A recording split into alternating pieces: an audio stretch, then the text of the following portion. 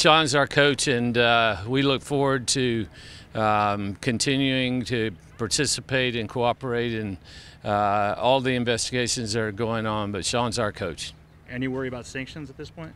Well, you know, I, I, I have no idea. I mean, that's up to the NCAA, and uh, we'll just cooperate with them and, and see what they have to say in the end. Now, as for former Wildcat and now Suns player DeAndre Ayton, he has not commented on those alleged payments or any other allegations coming out of this trial. We will, of course, keep following this and whether or not the NCAA responds. But for now in Phoenix, John Genovese, ABC 15, Arizona.